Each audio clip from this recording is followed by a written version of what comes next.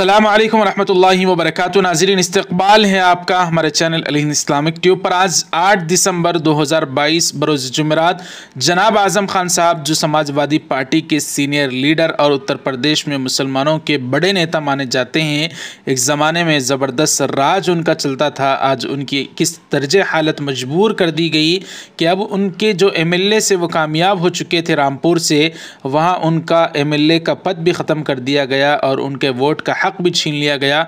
इसके बाद वहाँ पर इंतबात कराए गए। रामपुर से नाजिन कराम बता दें, आसिम राजा को आज़म खान साहब की जगह पर समाजवादी पार्टी ने खड़ा किया था। आज़म खान और उनके बेटे अब्दुल्ला आज़म ने एड़ी चोटी का ज़ोर लगाया था। आसिम राजा को कामयाबी दिलाने के लिए, लेकिन बड़ी अफसोसनाक खबर खुलकर आई है कि वहाँ पर बीजेपी ने आसिम राजा को शिकस्त दे दी।